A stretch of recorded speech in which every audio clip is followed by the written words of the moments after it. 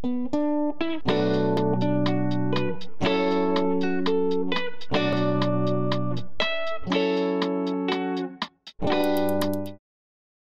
begin our discussion on enzyme kinetics in this module that follows enzymes and enzyme mechanisms.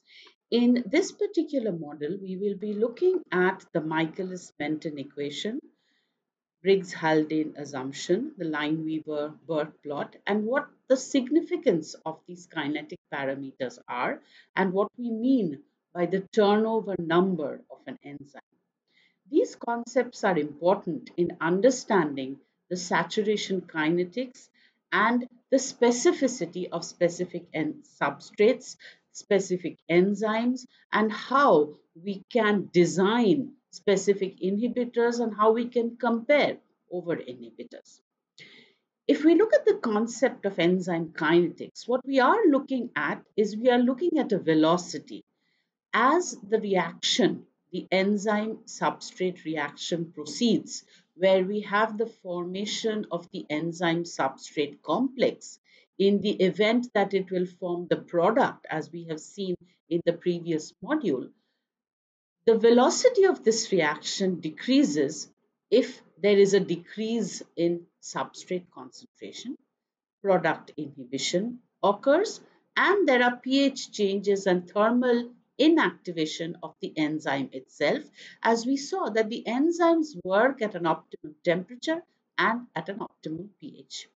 So if we look at the formation of the product with time or we follow the rate of the product with time, then what we can look at is the formation of the product and this slope gives us our initial velocity. So over time, we see that we reach a saturation as the product is formed, indicating that their substrate has been converted into product. As we look at a reaction of the initial velocity now versus the substrate concentration, what we see that in a catalyzed reaction, we can reach this saturation much earlier than before. So the initial velocity of this enzymatic reaction diminishes with substrate concentration, giving us saturation kinetics, indicating that with time, the enzyme is saturated with the substrate and further reaction is not possible. Initial velocities of these enzyme catalyzed reactions can vary with the substrate concentration in the sense that the more of the substrate we have, the product concentration as would be expected would increase. But for each of these initial values, we will get a velocity associated with the substrate. So we will have a velocity an initial velocity as corresponding to each substrate concentration. This is important in understanding how we can define our system. So the substrate concentration will affect the rate of this enzyme catalyzed reaction. The formation of this enzyme substrate complex is occurs in a relatively fast reversible step. So this is our first reaction that occurs where we have our substrate forming a complex with the enzyme in this enzyme substrate complex. The enzyme substrate complex has a forward rate constant of K1 and an inverse rate constant of K minus 1. This is similar to the protein ligand binding studies that we considered in a previous module, where we looked at the ligand binding to the protein in a forward rate constant and a reverse rate constant, which would amount to the dissociation, in this case, of the enzyme substrate complex to form the enzyme and the substrate again. This breakdown of the ES complex now will result in a product formation in a simple representation where we look at the enzyme substrate complex, break down to form the enzyme and the product. So this enzyme now is ready to form or to accept another substrate. In this specific set, we are looking at another equilibrium, but considering that the product formation occurs at a rate where we follow the formation of the product, it at times is considered unlikely for this to revert back to the enzyme substrate complex in a reversible reaction in this case. So assuming that this reverse reaction P2S is very slow, we can say that the rate constant associated with K minus 2, that is the reverse of the second reaction or the second step, is very slow. As a result, the overall reaction can now be written in a fashion where we have what is called a pre-equilibrium step associated with the enzyme substrate complex and its possible dissociation and a second step that involves a rate constant K2 in the dissociation of the enzyme substrate complex to form the enzyme and the product. The initial enzyme now, the rate constant of the formation of the product therefore is our K2 rate constant and the concentration of the enzyme substrate complex. The total enzyme concentration as we know is ET. So like our ligand concentration, we would know the amount of the free enzyme in solution. Similarly to our pro, pro, protein ligand binding kinetics. Here the enzyme is either in the free form or in the bound form. In this bound form, it is in the complex of the enzyme substrate. So we have the total enzyme concentration minus the enzyme substrate concentration would give us the free or the unbound enzyme and from this we can study different kinetics of the enzyme. The step 1, therefore, looks at the rate of the enzyme substrate formation.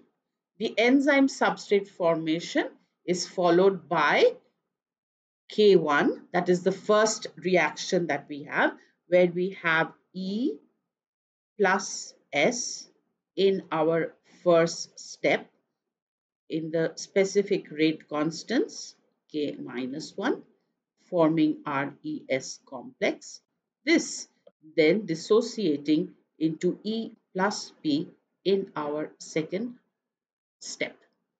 So this is the rate of ES formation and we have the rate of ES breakdown given by the dissociation in the reverse direction, the K minus 1 that we have here and in the forward direction to the formation of the product. In step 2, we use what is called a steady state assumption.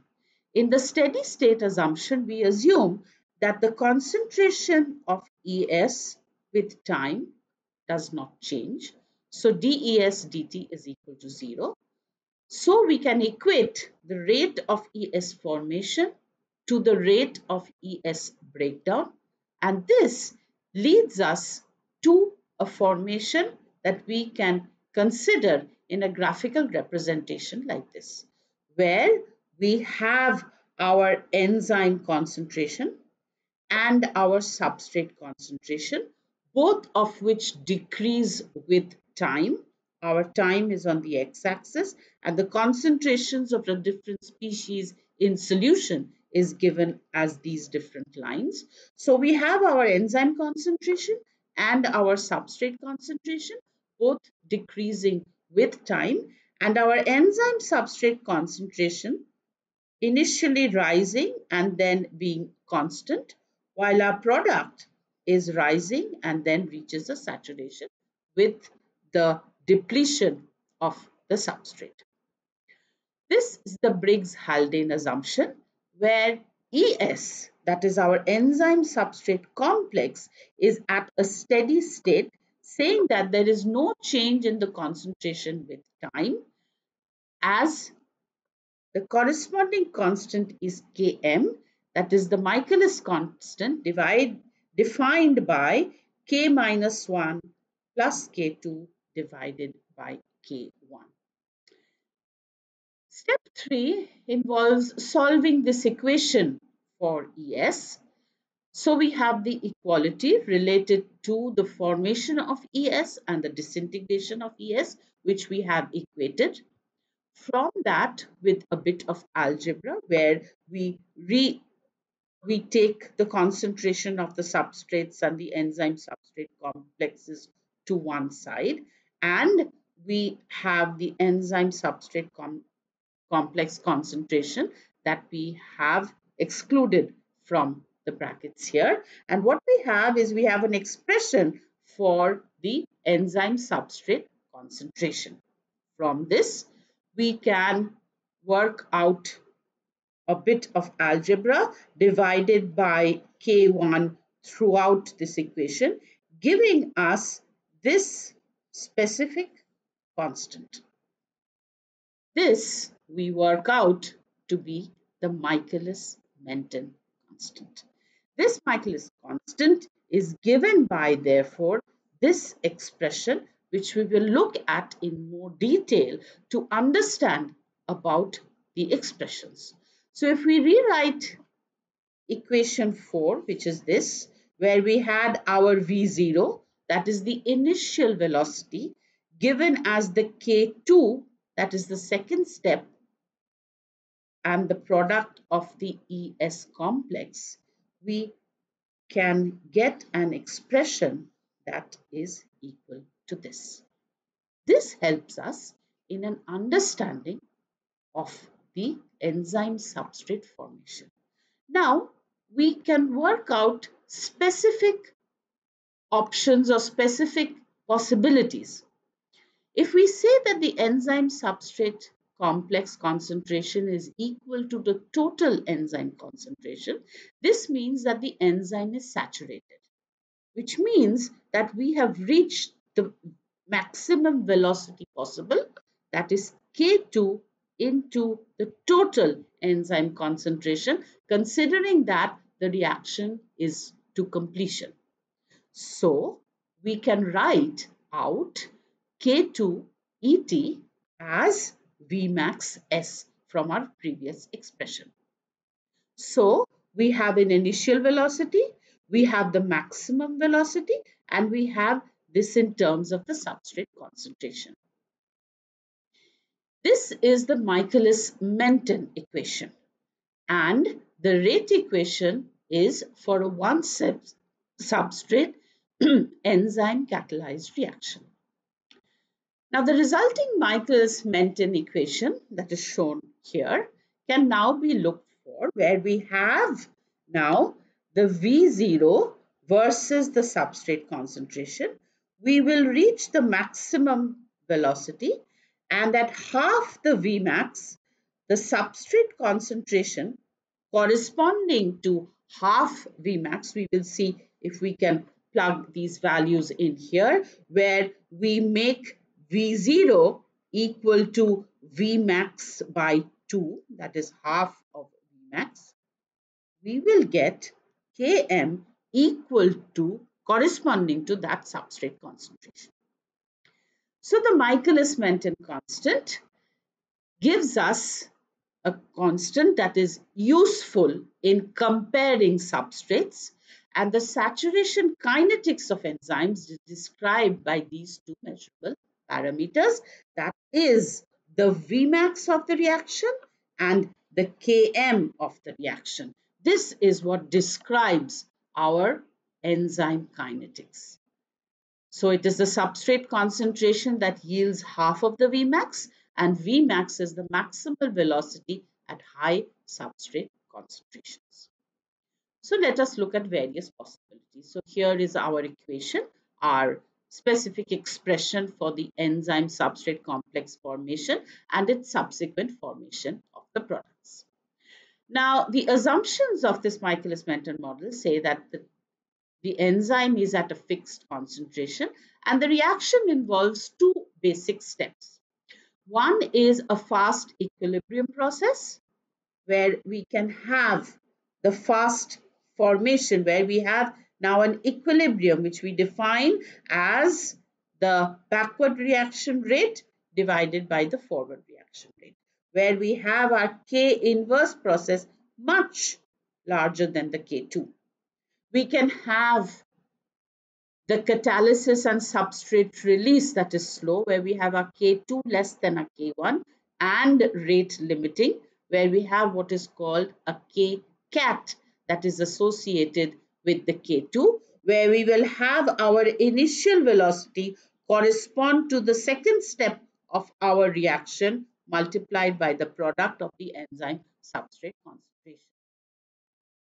If we look now at the interpretation of the saturation kinetics in terms of the curve where we plot the initial velocity versus the, versus the substrate concentration, initially we considered a first order reaction followed by a second order reaction. So this is our expression. And if we look at the substrate concentration that is much greater than the Michaelis constant, then we can form our equation in such a way that if we just plug this possibility into this equation, what we say that the Km plus the substrate concentration is very close to the total substrate concentration as a result of which we can get the V0 equal to the Vmax when the substrate concentration is very high. So when we reach this Vmax possibility, we say that we have our kcat into the product of the ES substrate, ES complex, and kcat is approximately equal to K2 when the enzyme substrate complex corresponds to the total enzyme concentration available. So we have our V0 equal to KT, K2 T instead of ES. Another possibility that we can look at is when the substrate concentration is close to the equal to the Km which we is the way we defined our Km value that is the V0 would be equal to Vmax by 2 at Km. So the Km definition is the substrate concentration when the velocity has reached half maximal velocity. Another possibility would be where we have the substrate concentration much less than the Km value. In this case, our Km plus the substrate concentration is approximately equal to the Km and we rearrange this equation where we neglect the concentration of S in the denominator and we get a, an expression for V0. Now, if this means that the then the enzyme concentration is equal to the final concentration and we can say that kcat by km in an expression for the substrate concentration giving us a pseudo second order rate constant where EF is a constant considering that the substrate concentration is less than the Km value. Our next expression looks at a linearization of our Michaelis-Menten. This is by far the most useful plot in enzyme kinetics where we can actually determine the value of Vmax and Km from a reciprocal, a double reciprocal plot as it is called, where we get the form of y is equal to mx plus c where we realize that if we plot 1 by V0 versus 1 by substrate concentration, our slope is going to correspond to Km by Vmax. So this is what we plot in our double reciprocal plot, 1 by V0 versus 1 by S. This linearization gives us a value for 1 by Vmax and our the negative intercept on the x-axis as minus 1 by km and this intersection the intercept on the y-axis giving us 1 by V max. We realize that this is a much easier representation in the sense when we plot the V0 versus the substrate concentration and we get a plot that is in this fashion identifying or trying to determine the Vmax or the half of the Vmax that is going to correspond to the Km value is not an easy task. However, when we have this double reciprocal plot, that makes the job much easier. So in our double reciprocal plot, we found out that if we plot 1 by V0 versus 1 by S, we can get the slope and the intercepts that will give us the values of Km and Vmax. So this is our expression and this linear representation can work with even five values of the substrate concentration and we can determine Km and Vmax which is what we can use to compare over different substrates comparing the Km constants comparing the maximal velocity. Now the significance of these kinetic parameters. We have the Km equal to the K minus 1 plus K2 by K1. Neglecting the value of K2 considering that it is really small, we can get an inverse measure of the affinity of the enzyme substrate complex. So this is like the association and dissociation constants that we considered for protein ligand binding. Now for the enzyme substrate concentration or the enzyme substrate complex formation, we do not want this to be too strong because if the enzyme substrate complex is a very tight complex, then the substrate or the reaction would not proceed and we would not have product formation. Another possibility is the Vmax that corresponds to the maximum velocity where we have the kcat value that gives us the Vmax divided by the enzyme concentration. This gives us a measure of the reaction efficiency. So we have the affinity, we have the efficiency. And a perfect enzyme would have a kcat value of the order 10 to the 7 second inverse and an average enzyme, a rule of thumb would be 10 second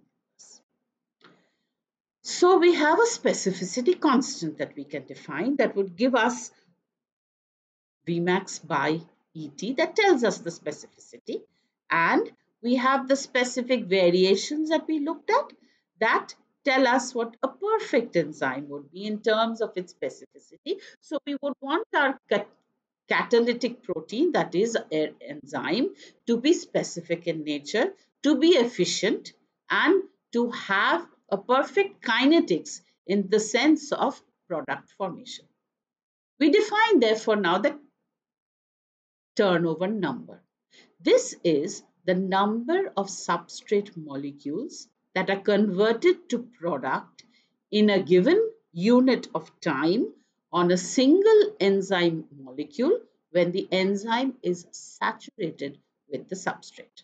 Now in the Michaelis-Menten equation, we look at that as kcat by Vmax by Et and we can work this out in terms of our expression and the unit of kcat is second inverse. So it tells us how the turnover of the substrate molecule to the product is. It is a first order rate constant. Similarly, we can have deviations from the kinetics as well. And these deviations occur when there are multiple catalytic steps where we cannot equate the K2 with the Kcat. ES, the enzyme substrate complex is not exactly a steady state and the enzyme displays cooperativity where we can have distinctions which we looked at in the protein ligand situation where the binding of the substrate could have an effect on the binding of another substrate molecule where we will be looking at double bisubstrate kinetics where we have multiple substrates and this substrate binding is irreversible in the sense that there is a covalent linkage that cannot be So in the Michaelis-Menten kinetics, what we look at is we look at a saturation. A saturation indicating that we have our enzyme of interest that is now bound to a substrate in so we have our enzyme that has taken up a substrate and in a pre-equilibrium step that involves a forward reaction rate of K1 and inverse reaction, reverse reaction rate of K minus 1, forming our enzyme substrate complex. And this, in a simplistic way, forms using the rate constant K2 is going to give our enzyme plus the product. In the enzyme mechanisms that we looked at, we found out that our enzyme that we started off with is now available for further substrate bound to it to have a further reaction occur to form the product. This is important and our expression for the Michaelis constant and Michaelis-Menten kinetics indicated that we could consider a steady state assumption for the ES complex where we equated its rate of formation with its rate of disintegration and we got expressions for the Michaelis constant. We then found out that if we look at a double reciprocal plot where we have each of these plots at various substrate concentration give us specific initial velocities that were the initial slopes of the graphs. We, if we now plot 1 by V0 versus 1 by S in our double reciprocal plot, the line Lineweaver-Burk plot, we are able to get on the x-axis the value equal to minus 1 by km, the intercept on the x-axis and our intercept on the y-axis corresponded to the 1 by Vmax information about our proteins, about our enzyme. We also could understand what a specificity constant is because we would like our enzyme to have a strong affinity for the substrate, but the binding should not be too tight because we would want this further reaction to go forward to form the product. So, in this is the basics of enzyme kinetics. We will look at multi-substrate reactions and see how we can describe their kinetics in the next lecture. These are the references. Thank you.